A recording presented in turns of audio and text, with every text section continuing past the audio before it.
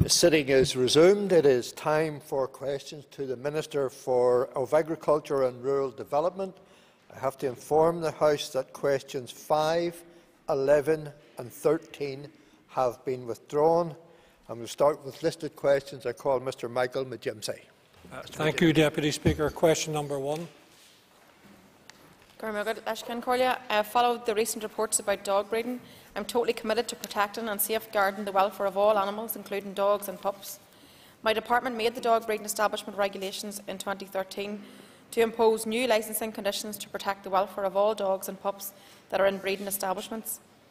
A person breeding dogs with, without a licence or in breach of the licence conditions can be fined up to £5,000 and imprisoned for up to six months.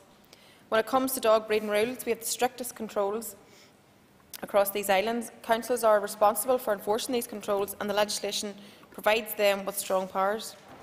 Legislation alone will not stop illegal puppy farming. This will take a concerted effort by the public, dog buyers, welfare charities, enforcement agencies, all working together to identify breeders, licensed or unlicensed, who put financial gain before the welfare of their dogs and pups. All evidence about illegal, about illegal dog breeding should be reported to councils for a full investigation. Those responsible for animals, including dog breeders, must also comply with the Welfare of Animals Act 2011.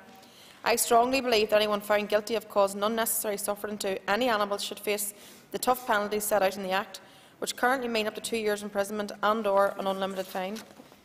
The implementation of the Act is being reviewed at present and the interim report of the review is out for public consultation. A copy can be found on my department's website. As the dog breeding regulations are made under this Act, their implementation is also being reviewed. Given recent publicity, I want to provide additional time for people to provide their views on dog breeding, and I have therefore extended the consultation closing date until the 21st of May. for his supplement. Uh, thank you, Deputy Speaker, and can I thank the Minister for her answer. Uh, the BBC Spotlight programme clearly illustrates that whatever legislative regime we have in place, it is imperfect uh, it is not properly working when you saw the level of greed, exploitation and downright cruelty.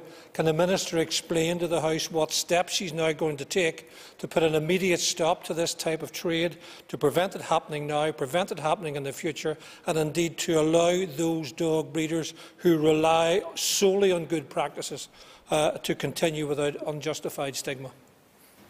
Yes, and you're absolutely right, and that is important that, that, that, we do that. And I think, as I said in the original answer, um, the issue of puppy farming um, legislation alone won't, won't drive it out. I think we need that concerted effort across all the agencies. We have very strong legislation. It is when you compare it to um, other areas or other jurisdictions, you can see that we have very strong legislation in place. However, there's always room for improvement, which is why I set out last year after a debate in the House um, to, to, actually set about reviewing that legislation. I've, on the back of the, the recent, I suppose, attention that the issue is getting, I've extended that consultation and I am of the view and I've published the report on the website that, that, that I am minded to look towards strengthening the legislation where necessary and making sure that um, the department has um, the strongest possible legislation that we can have in place. Obviously, the members are aware that um, councils enforce the, the action and we need to see robust enforcement on the ground. That's something that I do believe happens. However, the incidents which we witnessed last week were criminal, or over the last number of weeks in the media where there's criminality involved, obviously there needs to be full PSNI investigation also. But I do believe that with a concerted effort we can strive to drive out that illegal activity, but also um, create uh, a safe space for those people that are actually involved in good practice to be able to carry out their, their normal trading. Mr Joe Byrne. Mr Principal Deputy Speaker, I thank the Minister for her comments and her answer so far. Would the Minister accept that not all of these dog breeding establishments are living up to the due standards and the requirements of the Animal Welfare Act? And what can be done to further reinforce obedience and compliance in terms of the legislation and also in compliance with the remit of the district councils? Yes, I mean, as, as, the member is aware, it is the, um, the, responsibility of local councils to enforce the Dog Breeding Controls and the Welfare of Animals Act 2011 and also the dog breeding establishment regulations. So there are quite strong stringent controls there. Um, it is up to the councils to enforce it on the ground, and, and, and I know um, very much from engaging with councils that they would be more than happy, their enforcement officers would be more than happy to receive information from the public if there were um, any concerns out there in relation to um, any sort of um, underhand practices that, that, could be occurring in the industry. I mean, puppy farming itself isn't, isn't illegal, but there needs to be very strong protocols in place, and where people aren't adhering to those, then the council officers need to take very strong action. Mr Pat Sheehan. Cuir agus cómbugus leis an aras of the Fragra. Uh, and the Minister has touched on this in her previous two answers, but could she tell us what legal standards and conditions apply here that dog breeders must adhere to? Gurmayagad. Yes, the, the 2013 regulations require that um, all commercial dog breeding establishments have to be licensed and they have to provide each council with, um, or the, the regulations provide each council with powers to inspect and grant licences um, for establishments within their control.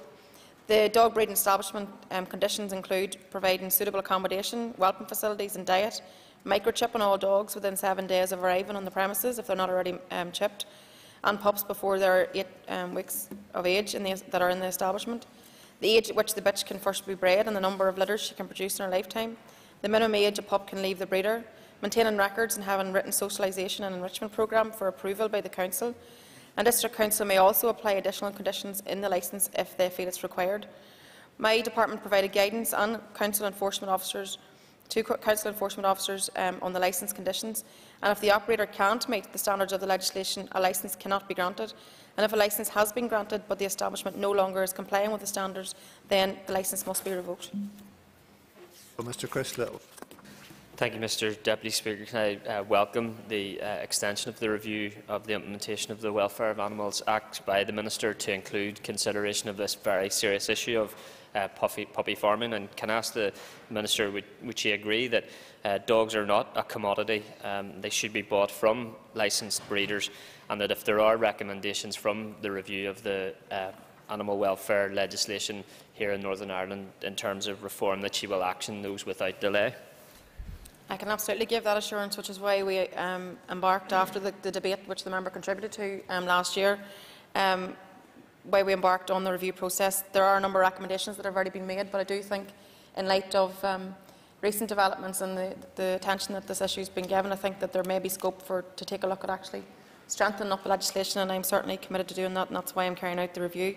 Um, the other, I think that there are like potential changes that we could bring forward um, like, for example, in the interim report, one of the suggestions is around um, the penalties, that they could be increased to 12 months um, imprisonment on summary conviction and five years imprisonment and an unlimited fine on conviction on indictment. So um, I think that there, are, there is scope there to make sure that we do everything we can to make it act, to create a deterrent, if you like, for, for this illegal practice. And I suppose the message to the public is just be careful about where you're buying your pups, where you're buying your dogs. I think that um, you, you, want to be using reputable people, you want to be making sure people have licences and they're actually um, looking after the animals that, that, that, you're buying. And if you're in any doubt, um, I encourage people to contact their council enforcement officers to investigate if they're in any way um, unsure of someone's practices. Mr Jim Allister. The Minister refers to us having very strong legislation. Since the 2011 Act came in and the 2013 regulations came into effect, how many prosecutions have there been? And many licences have been revoked? I don't have the figures on the licences being revoked, but actually in relation just to dog breeding establishments, establishments there's been one conviction, but under the Welfare of Animals Act in, in 2011, there's been, you'll be aware, over the last um, number of months, there's been some very high profile and very um, stringent sentences handed down by the courts, which is something obviously that we welcome. So I think that in itself shows an effectiveness. But as I've said, whilst I do believe that we have very strong legislation, there's always room for improvement, which is the, the process that I'm now embarked upon. Pat Ramsey is not in this place. I call Ms Anna Lo. Question number three, please. The executive decision to create a new Department of Agriculture, Environment and Rural Affairs is one which I fully endorse. There will be considerable work to do to ensure that the new department is fully operational following the Assembly elections in May 2016. My department already engages with environmental and non-government organisations on a wide range of issues, and I recognise the positive role that the NGOs play in respect of policy and delivery across our existing responsibilities. There is engagement on agri-environment schemes, water quality, the greenhouse gas implementation partnership, development of the agricultural land use strategy and fisheries issues, to name just a few um, examples. I believe that we have a constructive relationship in respect um, of agriculture and the environment, and I look forward to continuing to develop and to build on that relationship. These are early days in relation to the creation of the new department, and a small team is being set, is being set up to begin to map out what needs to be done. However, going forward, I see the continued engagement with the environmental NGOs as important. I welcome their support as we jointly work to achieve positive environmental outcomes. My Permanent Secretary will be meeting with um, representatives from the NGOs in the coming weeks and they will be discussing the implications of the departmental restructuring and the role of the NGOs in delivery of environmental functions under the, new, uh, the remit of the new department. Ms Lo for supplement. Thank you, Mr uh, Principal Deputy Speaker. I, I thank the Minister for her response and I certainly welcome her, her proactive approach to now, uh, you know, looking at, at the, the two departments working together. And, and I'm sure you agree with me the, the important role of the, uh, the environment sector. Would she give a commitment that before the finalising of any details with this group you're talking about, uh, you know, between the two departments, um, before the finalising of any details, that uh, there will be engagement or public consultation on how the environment function is going to, to move forward?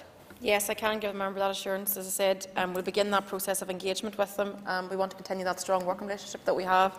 I don't see any reason as to why that would change in the future, but I think that as we shape the new department, I think it's, keen, it's very key that we use the expertise that's there within the NGO sector and make sure that um, they feel part of the process because obviously both ourselves and, in government but also NGOs have a key role to play in making sure that we provide what we should be providing on the ground. So yes, I can give that assurance. Mr Barry McElduff. Thank you, Principal uh, Deputy Speaker. Can I ask the Minister what existing environmental functions will transfer to the new department following on from restructure? Yes, the environmental aspects of, of DOE are currently contained within its Environment and Marine Group, so the group covers an extensive range of policies and functions. The following functions will transfer to the, to the new department, and that's going to be environmental protection, drinking water, land and resource management, industrial pollution and radiochemical, marine, and then other policy areas including climate change, air quality, water quality, habitats directive, environmental noise, invasive species and the carrier bag levy. Mr John Duff. Mr Principal, Deputy Speaker, I thank the Minister for, for her answers. The Minister will agree with me, of course, that the environment is the most important, critical aspect of life for ourselves and for future generations. Can the Minister give us some indication of what the relationship will be with the Environment Agency and will it have the independence and the teeth to go after those who pollute our land and our waterways? Yes, well, that obviously would be the intention, but I think that um, when we're shaping this new department, it's, it's, very important that we get the balance right because I think there's always a bit of concern around different policy perspectives from DARD and DOE point of view, so that there's a challenge there between the environmental issues and then what farmers do on the ground. I personally believe that the two areas of work will, work, will complement each other. They'll work very well.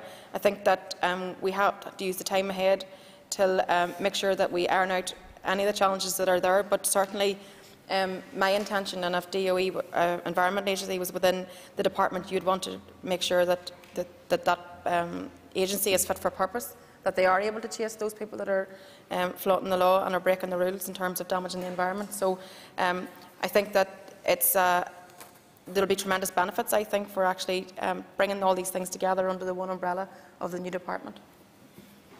Sir Robin Swann. Thank you very much, Mr Principal Deputy Speaker.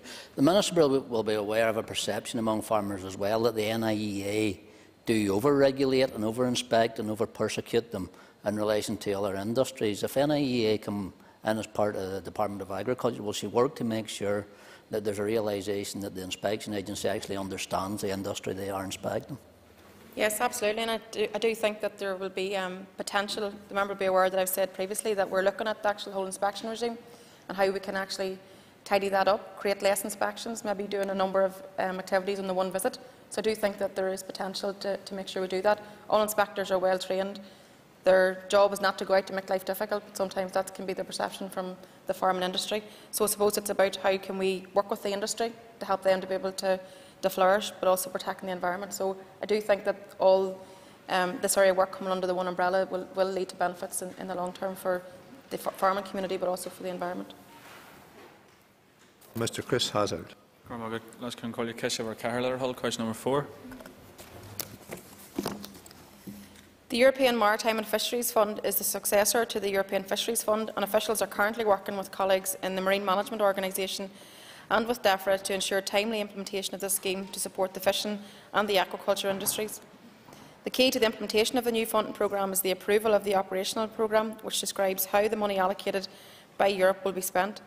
This document is currently being drafted by DEFRA with input from other fisheries administrations and is expected to be formally submitted to the European Commission by the end of April, or by the end, over the next number of weeks. It was due to be by the end of April. The Commission then has six months um, to work with DEFRA to ensure that the um, plan is approved by October 2015, and then at that stage the Department can consider opening the programme to applications for funding. In parallel to that work, the Department are working closely with um, the, uh, within the, the Marine Management Organisation to deliver the operational processes that are required to administer the programme. This will involve the development of a new IT system to underpin the administrative process, and that new IT system will also allow applicants to make their claims online, and I'm confident that this will um, ensure an easier application process. I anticipate all of this work to be finalised on schedule, and EMFF will be open for applications in autumn 2015. In the meantime, my officials will provide updates, including form and guidance via the DARD website, and this should be available early in the summer. Hazzard for supplement.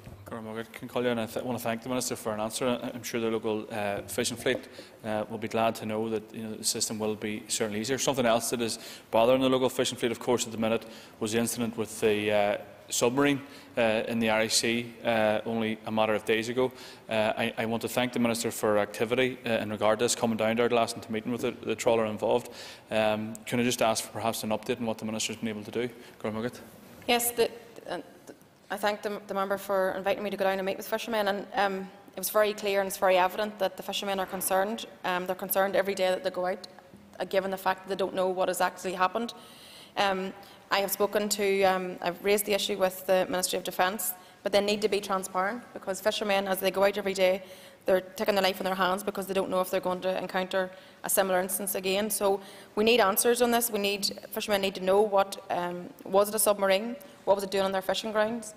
Um, I spoke to Theresa Villiers, the Secretary of State. She assures me that it wasn't um, that they, they, they, are not aware of any um, Navy submarines being in the area or within any sort of distance close to the area at the time. So that begs the question then who was in the area. So there are a number of questions that, that need to be answered because this incident very clearly posed a threat to the life of the four people that were on, on, on board the ship uh, at, that, at that time. And the risk of it happening again remains and these people are concerned for their livelihood, their families are concerned um, for, for, their lives um, every day when they go out until they receive the answers. So I certainly would be pushing the Ministry of Defence, the Secretary of State, the Department of Transport and um, the Marine Accident Investigation Branch to get answers for, for the fishing industry who, um, as the member has said, rightly deserve the answers. Mr Sean Roger. Thank you, Mr Deputy Speaker. And th can I thank the Minister for her answer answers thus far? And in terms of uh, uh, welcome the, the, further funding for Europe in terms of developing our agri-food economy. Can I ask you, Minister, what grant aid support from Europe will DARD be applying to to assist the fishing ports of Portavogie, Ardglass and Kilkeel? I'm thinking specifically of something there like the Kilkeel Vision, Vision 220 for the new port. Thank you. Yeah, well, the member will know that the, the main aim of the EMFF is, is to support the delivery of um, the reformed common fisheries policy within member states. And for us, that will include the current issues around um, the landing obligations and the need to minimise levels of bycatches um, for the fleet. So therefore, EMFF in the first instance will um, obviously help with gear trials, um, on research on reducing um, bycatches, developing the infrastructure for the handling of the bycatch, and adapting fishing gears for, for fishing vessels. And similar to the um, EFF, EMFF will provide support to the local fishing industry in terms of the ports infrastructure, so dealing with the issues that you, have set out. It will um, support them in terms of promoting safer fisheries, um, processes and aquaculture operatives, community-led local development. So the department is working with the fishing industry around developing those um, detailed proposals and then we plan to work with the fishing communities over the summer to get them into a state of readiness so that when the programme opens in the autumn that they're ready to bid in. So I think um, it's something obviously the fish industry are waiting for the new programme to open and I'm keen to work with them to make sure that everybody knows how to avail of the funding, what's eligible under the funding and, and we'll certainly be doing that work over the summer. Ms Bronwyn McGurkin. Gurmi question six. I was pleased to announce the opening of my department's new Rural Micro Capital Grant Scheme um, programme earlier this month.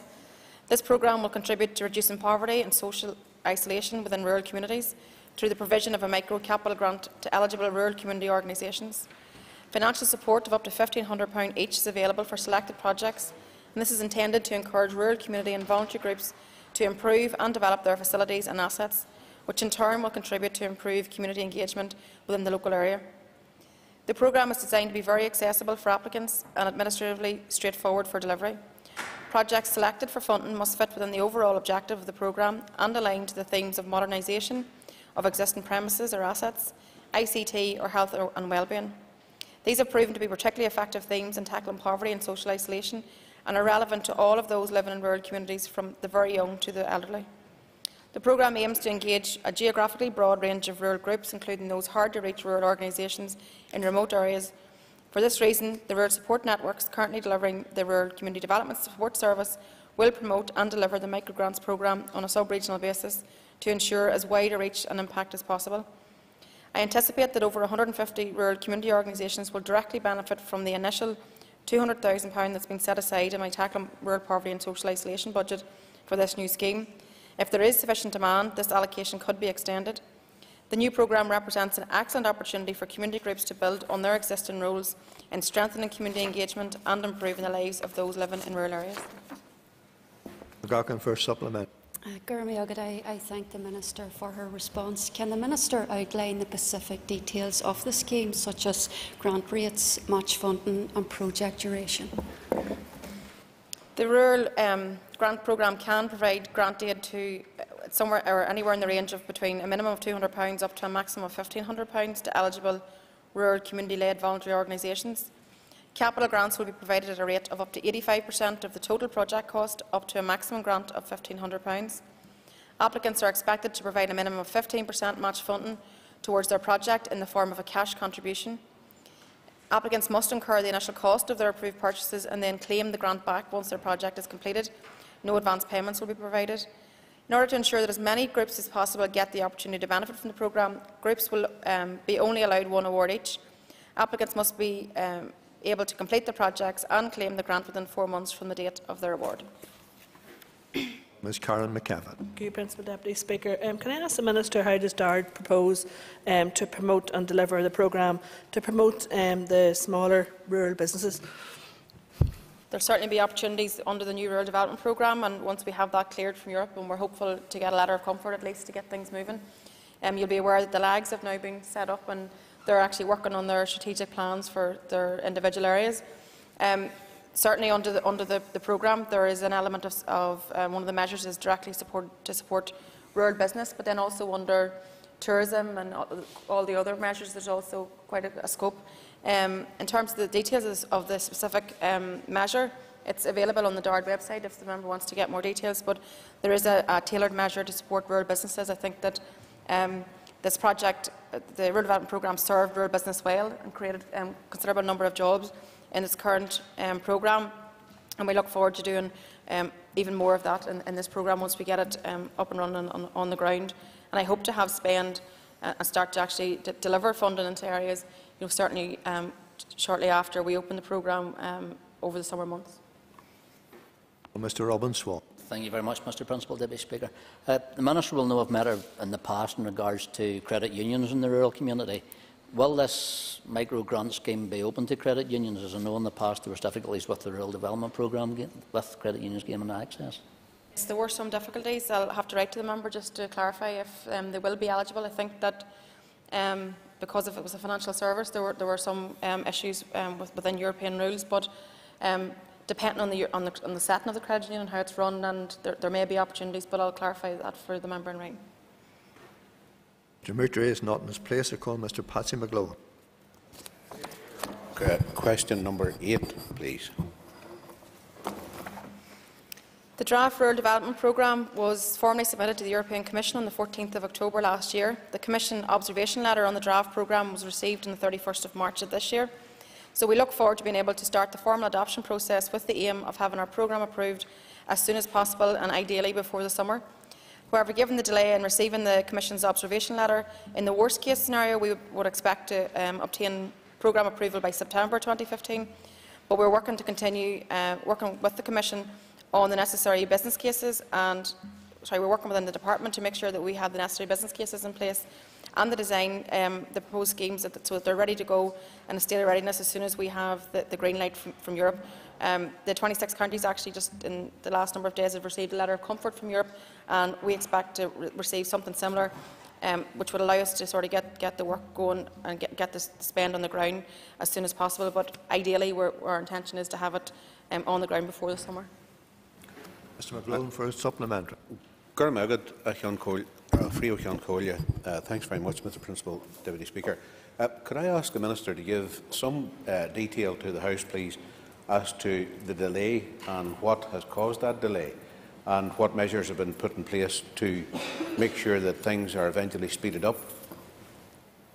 The, well, the delay is, is that we're waiting for Europe to give us uh, the green light to go ahead. Um, I think that possibly the Commission underestimated the, the amount of work in clearing and, and approving all the operating plans from all the Member States. So we are um, awaiting that, that green light to be able to go, but we're not um, in the absence of having that, we're, we're, as I said, we're developing the business plans, we're getting the, the, the projects in the ground, we've established our lags, we've allocated the funding, or we've, we've give um, indication of the allocation of funding for each lag. So we're, we're in a state of readiness, we're, we're, good to go as soon as we get the, the, the Commission approval. Like, so far, the Commission have only approved 27 out of the 118 applications that the, or operating plans that they have with them. So um, we expect that they're, they're, going to clear somewhere in the region of 30 to 40 over um, this month, and, and, obviously we're pushing um, to try and have our plan approved before June. But in the absence of having the full clearance, if we even um, can achieve the ladder of comfort, then we're able to open the programme.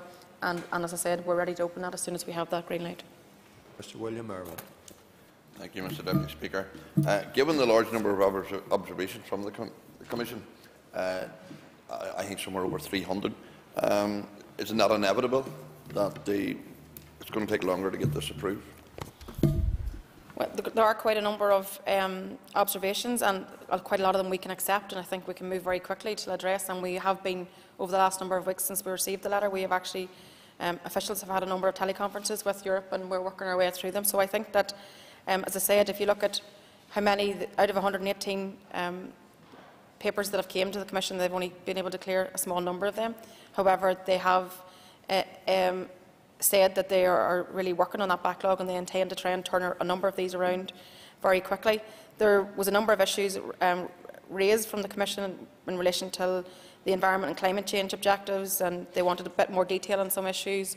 Um, there were a lot of things were minor and we'll be able to address. So my intention is just we'll just keep the pressure on Europe. We'll just keep pushing to get the, the green light to be able to open the programmes as soon as possible. Mr Declan McAleer. Uh, Concordia. Uh, could the Minister el elaborate a little bit more on some of the, the key issues that were raised in the observation letter? Yeah, the, the Commission the, they raised 315 observations, but a lot of them, the majority of them, are just minor and technical in nature. However, there are a number of key issues to be addressed, um, particularly in relation to regards of ANC. The Commission had requested that the method used for for the calculation of income foregone and additional costs for the exclusion of disadvantaged area be detailed. They've asked in relation to the programme's environment and climate change objectives, they wanted a bit more detail. On the agri-environment climate measures, um, again, wanted a bit more detail. There were some issues around some of the cross-cutting things of the programme. Um, one of the other issues, actually, and, and I've given a commitment to the sector that I will take a look at, that, at this, is the fact that we didn't include an option for um, support for the organic um, farming sector. Uh, I've actually given a commitment um, that I will to the, to, to the organic farming sector that I will actually take a look at that and see if we can. It wasn't something that was raised in the consultation as, as being identified as something that there's a major demand for. However, for those number of farmers that are um, in organic farming, they believe that um, they're entitled to support and, and I give a commitment that I will look positively at, at that if, if it can stack up in a business case. That ends the period for listed questions. Um, we'll now move to topical questions. Mr Pat Ramsey is not in his place. I call Mr Sean Rogers. Thank you, Mr Principal Deputy Speaker. Minister, the good weather has contributed to a great lambing season. Farmers have great, great crops of lambs.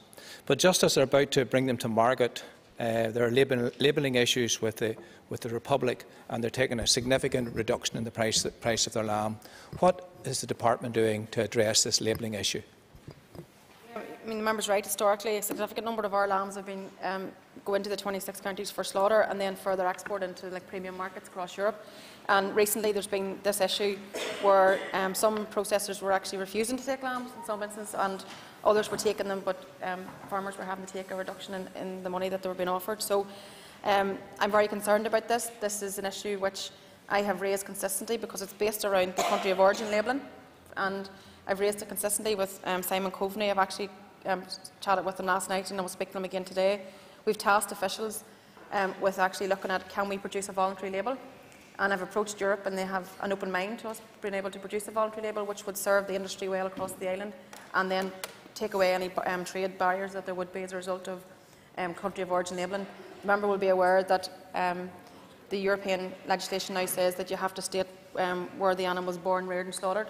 So if it was born in the six counties and slaughtered in the 26, it can't be sold um, as Irish lamb into um, other European markets. So I'm extremely concerned, just given the time of year that it is, and this is where farmers go to market. So I can assure you that both at a European level, working with um, DEFRA and Simon Coveney, that we are trying to find a solution through this voluntary label process.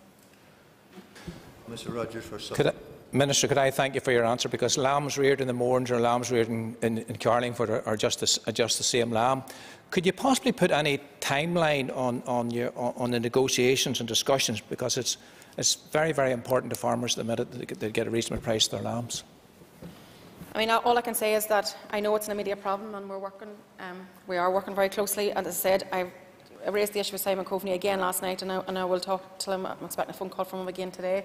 We've both tasked our, our, permanent secretaries. This is a high priority issue. It needs to be dealt with. So they have been working on it for, for some time in advance of the European rules coming into play. But all I can say is that I'm aware it's an immediate issue and we're trying to find a solution. Ms Michaela Boyle. Uh,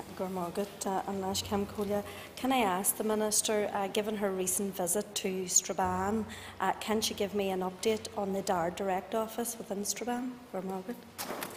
Yes, I can um, just say that the things are going ahead smoothly. We're um, on target. Um, as, as, I said that time when we came up, actually, as a positive news story that um, we were creating 30 plus jobs in the Direct office. So things are going well, and I think that um, we can look forward to having that new uh, office opened um, on schedule for next year. The beauty of that office is the fact that it's a number of services coming together. So I think that in itself um, is, is being very useful and it was a very good use of public money given that a number of departments were going to locate there together. Boyle for a supplement. Can I thank the Minister for her response and obviously she would be aware that this is a good news story for Strabane. Is the Minister confident that the planned works will go ahead and the time frame for the opening of the DARD Direct will be next year? Gormargaret? Yes, I can, I can give an assurance that that's the time frame we're working to and we've, we've no um, reason at this stage to believe that there will be any delay in that. It's full steam ahead for the project. The, the work's on the ground and, and we hope to have our staff all moved into their new premises next year. Mr Phil Flanagan. Very good. For your last Julia, can I ask the, the, Minister to provide the House with an update um, as to what progress has been made on increasing um, trade exports and improving access to new markets for um, our agri-food sector? Yes, um, we've, we've, made um, quite a lot of progress, but particularly in relation to pork. I'm very pleased that last week we had the inspection of one of our um, processors by Chinese officials responsible for approving the North and for approving Britain to export, to export even trotters, and that all went well. I'm also delighted that at this moment in time we currently have Chinese inspectors um, also here for the next couple of days um, inspecting our processors to again open that up that export market. So um, we're delighted to have to have that progress. We've been waiting for these Chinese um, um, inspectors to visit for, for quite a number of months, so it's great that they're here. I also intend to um, follow that visit up at the end of the month. I will um, go to seek a number of political meetings in China.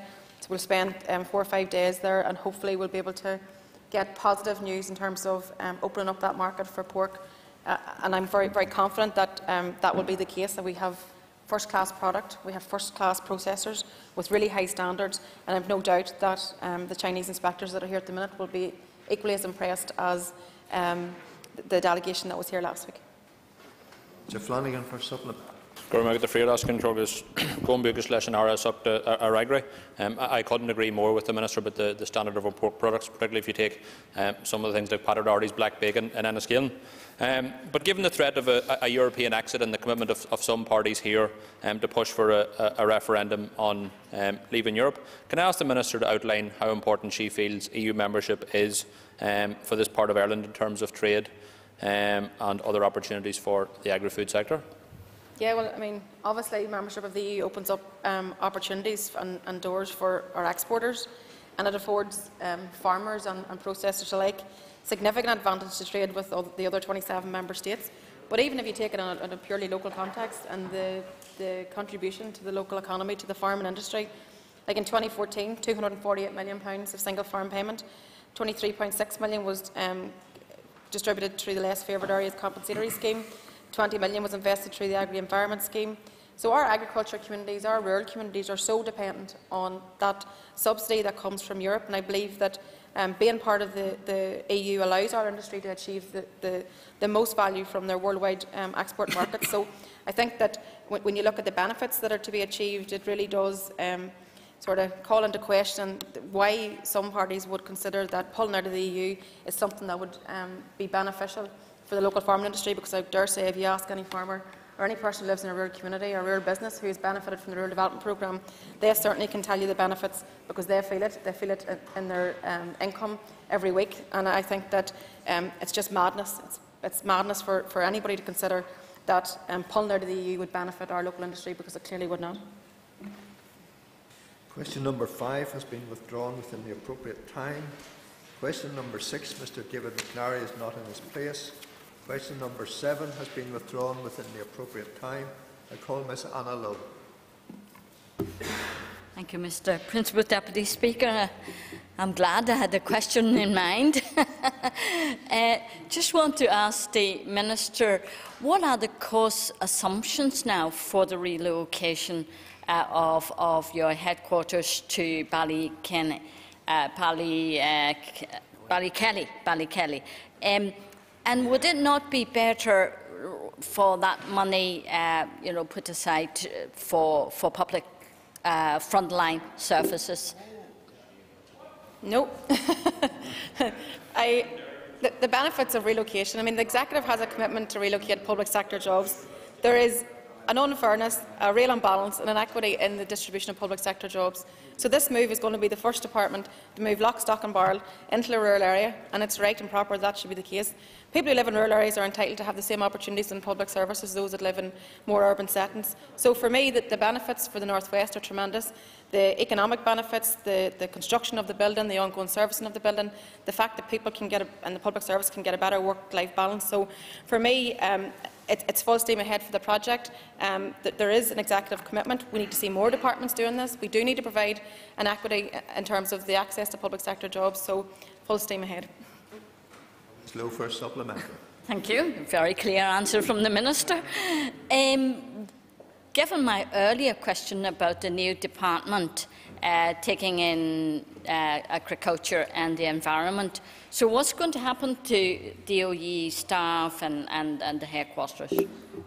will be managed as part of you know, the wider civil service rules. So um, you would imagine that staff that want to will, will, transfer with the function that they work. But the, the, group that we've established now is actually going to manage all of that and make sure that, in conjunction with trade unions, that we make sure that that's all managed and there's a, a seamless process for staff. Because obviously they'll still be providing the service. You know that's not going to change. It's just maybe where they provide that service from. Oh, Lord Morrow. Speaker, can I ask the Minister, in relation to river pollution, what discussions has she had with angling clubs uh, during the year in relation to this particular matter? I haven't had any discussions with angling clubs in relation to river pollution over this year, and if the member wants to raise a particular issue with me, I'm happy to receive that representation. Lord Morrow for supplement. Oh. I'm very disappointed that the uh, Minister doesn't think that angling is that important that she should uh, have some discussions with the angling clubs in relation to river pollution. I wonder then, could you tell us what discussions she has had with the Department of the Environment or DCAL in relation to river pollution? Again, I haven't had any discussions with the DOE Minister. However, officials at that level, both the Rivers Agency and DOE um, officials, engage regularly on all of these issues, and I'm very happy to provide that um, to the member. The member is referring in very general terms to an issue, but again, if he has an issue, he hasn't raised it with me, but I'm very happy to receive that representation. Question number 10 has been withdrawn within the permitted time. As the next period of questions does not begin until 2.45, I suggest the House takes its ease until then.